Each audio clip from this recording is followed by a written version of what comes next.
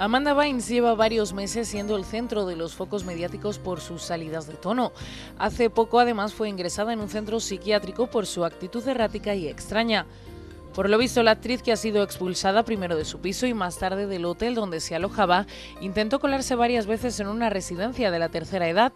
No ha pagado su deuda con el hotel por casi 10.000 dólares, fue expulsada de un taxi por no llevar dinero y además prendió fuego a sus propios pantalones. Por si esto fuera poco, se le descubrió fumando marihuana y otras veces en estado muy ebrio.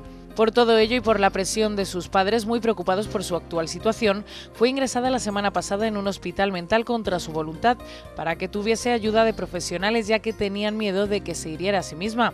Este jueves los médicos han contado que en los próximos días tendrán un diagnóstico en firme, pero que ya pueden decir que lo más probable es que la joven actriz tenga esquizofrenia. De hecho, otra fuente cercana ha añadido a Radar Online que las medicinas a las que supuestamente reaccionó bien Amanda al principio no eran las adecuadas. Su madre ya ha pedido convertirse en su tutora legal para poder cuidar de ella.